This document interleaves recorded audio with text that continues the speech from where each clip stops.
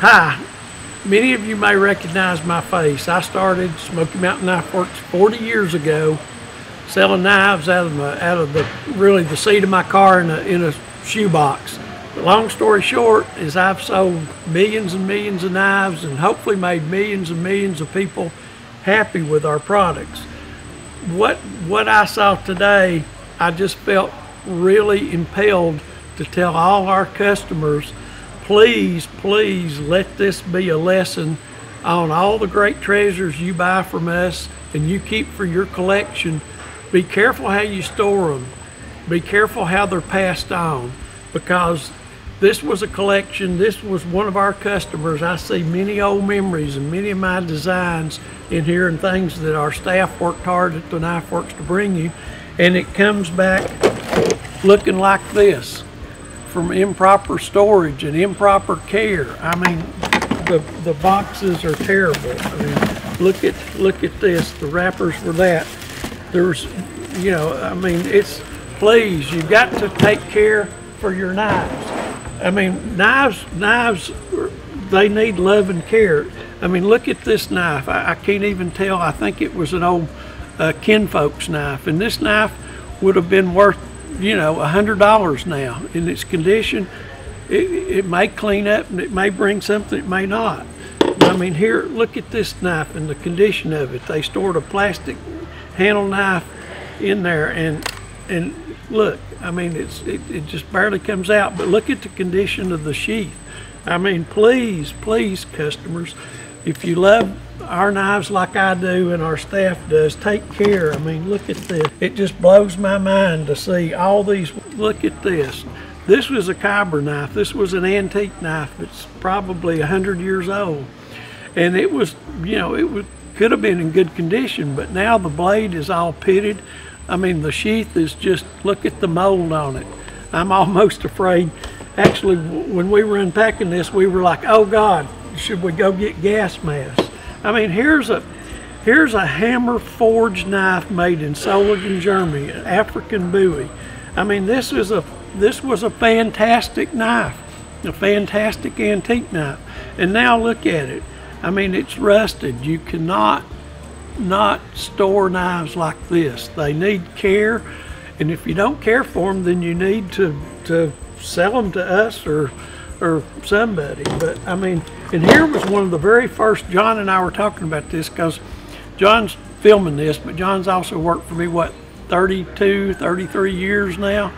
So anyway, this was the actual, the first tie, black tie coated knife that we ever did.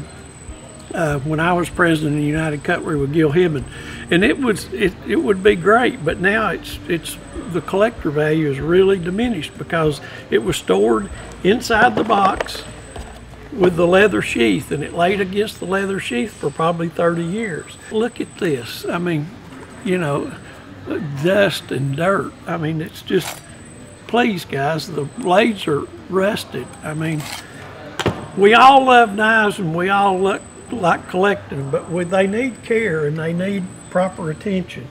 I mean, here's a, you know, this, here's an Ek knife that was carried in, in World War One, but now it's, you know, it's still got some cosmoline on it, but it's, it's, you know, it's just awful. And a sword, look at this great sword. You know, that would have been a fabulous addition to somebody's collection, but not now. Can you imagine what we're gonna, it's gonna cost more to clean this than it'll bring. And it goes on and on. This customer was bought product during the golden era of our bayonet boom. I remember almost all these bayonets. We, we found a company that had, had always bought and sold guns and they never did know what to do with the bayonets because they weren't in the knife business, they were in the gun business. Well, we were in the knife business and we bought literally tractor trailers full of bayonets. We can't get them now. I wish we could. But this man could have had some beautiful, fantastic things that he bought at, at the price. But I just pulled this out. Look at this. You cannot store an antique bayonet like this. This would have been worth a $100. He probably paid Smoky Mountain Knife Works $9.99 for it. But now, you know, and, and I remember these. when I bought these, I was just these are these are like I think 1908 or something like that. And and I've always wished I could have bought these again. I only bought them one time, but now, you know, and he was smart. This guy was smart. He bought two, four. He bought five of them, which was phenomenal. But now, look at this. I mean, you cannot.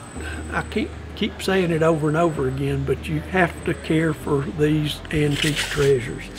So anyway, I just felt like empowered to tell you people that have supported us all these years, please, when you buy these things, they're like your children. You have to raise them, you have to care for them, you have to tend them, and you have to look after them so that the next generation can pass them on.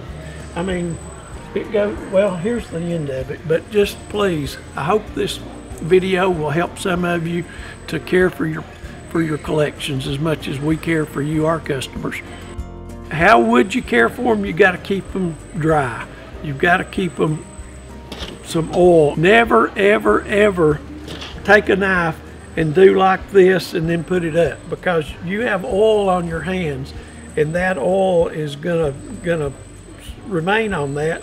And if I come back in five years without wiping this off, properly, there'll be rust right there. Another major thing too is celluloid knives. Here's two celluloid knives that are beginning to decompose. It's just, they're just now in the stages, but see the rust on the back spring? That rust is gonna spread over into the celluloid plastic handle, and then that celluloid will decompose. You know, celluloid knives were real popular 30 years ago in Germany. These are both German-made knives for Smoky Mountain Knife Works before we we had on our own house brands. I mean, the Old Smoky is on the on the the blade edge of this, and this is one of the very first knives I ever bought in Germany, probably 38 years ago on my first trip there. But just with celluloid knives, you got to totally keep them dry. You need to keep them separated from each other in a knife pack. We sell knife packs or knife rolls, but the main thing is keep them dry and when you handle them, you know, we also sell a product called Miracle Cloths or we sell wipe things. So just remember, keep your stuff dry, keep it separated, and look at it every now and then just to make sure it's it's safe. But never ever let it get exposed to moisture and always wipe it down and put it up just like a gun. You know, anybody that collects knives usually collects guns and you don't handle your gun or go shoot it and not clean it before you put it up. And that's what you've got to do with, with our product and your product. Thank you.